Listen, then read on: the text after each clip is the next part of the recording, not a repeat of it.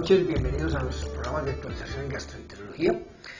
Eh, reiniciamos nuevo ciclo durante este mes de mayo, mostrando una serie de videos supremamente importantes. Además, pues con orgullo mostramos este premio dado por la SED, la sede de la Asociación Colombiana de Endoscopia Digestiva, a nuestro servicio universitario, el Servicio de Gastroenterología Clínico-Quirúrgica, que es el posgrado que se realiza aquí en nuestra entidad, con la Universidad de Caldas entrenando cirujanos especialistas en el área de gastroenterología y endoscopia.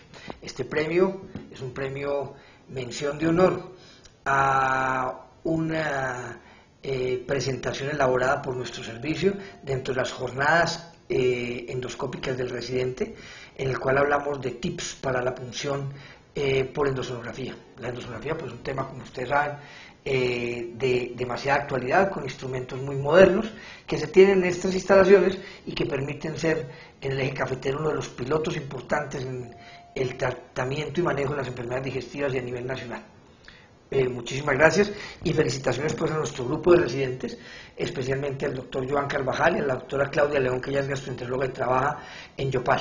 Ellos, eh, junto con este servicio, presentaron el trabajo en Bogotá, que fue moderado por mí, y hemos logrado este premio para nuestra universidad, la Universidad de Caldas, y para la región.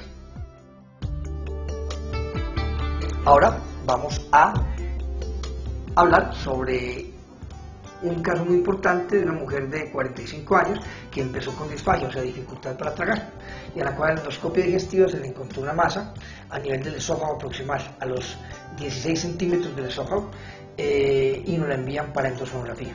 Ustedes saben que la endosonografía es un examen que permite ver los tumores si invaden o no invaden, o sea, si son tempranos o avanzados. Es importantísimo, no solo en patologías benignas, sino en malignas. Y esto le permitirá al cirujano tomar determinaciones. Bueno, estamos aquí en la endoscopia digestiva de nuestro paciente. A los 16 centímetros se empieza a visualizar una lesión. Este es el esófago y aquí aparece la lesión. Toda esta es la lesión. Y la lesión viene hasta acá mírenla, exofítica, exuberante, grande.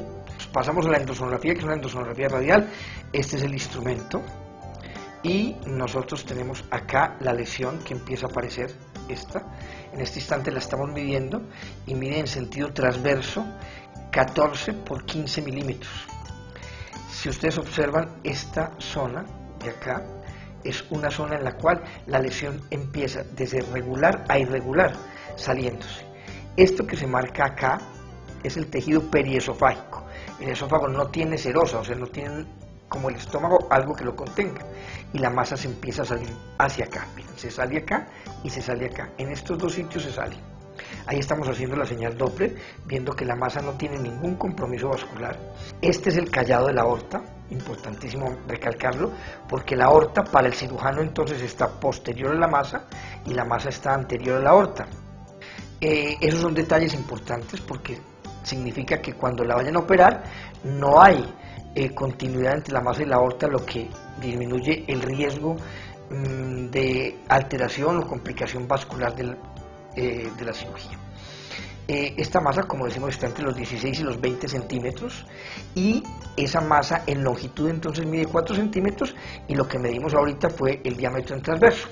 Vamos a ver la masa, seguimos viendo la masa, la masa compromete todas las capas del esófago, miren que aquí estaría la mucosa, aquí es la mucosa normal, miren acá, y aquí ya no se ve la mucosa normal, en esta zona, porque la masa que es esta de arriba, que ya ha sido señalada, compromete todo las capas, las cuatro capas del esófago. Aquí estamos mostrando una adenopatía que es esta, esta adenopatía mide 6 milímetros, es una adenopatía redondeada llamada hipoecoica, o sea, se ve como negruzca, lo que indica que posiblemente es de compromiso maligno. Y miren ustedes dentro de la masa estas manchitas aquí blancas, que son calcificaciones, miren de nuevo la prolongación de la masa que indica que se está saliendo, ahí pusimos con la flecha que se sale y aquí también la masa se sale, en este sitio, en ambos sitios. O sea, salirse significa para ustedes, para que lo entiendan, que la masa dejó de estar contenida, o sea que ya no es temprana y que la masa es avanzada. O sea que la masa compromete las paredes del esófago todas en esta parte anterior, rompe estas paredes, como se ve claramente aquí, rompe y se va a los tejidos vecinos. Este detalle es supremamente importante tanto para los oncólogos que lo manejan con procedimientos de quimioterapia o radioterapia de acuerdo a lo que ellos decidan, así como es importante también para el cirujano. En esta linda toma ven ustedes cómo evaluamos el compromiso vascular, lo que existe, las adenopatías que hay alrededor de la masa, mírenlas aquí, varias adenopatías, mucho más de 10 adenopatías en general, todas reunidas en conglomerados. Esto clasifica a este paciente para dato hacia el cirujano, que es un estadio 3.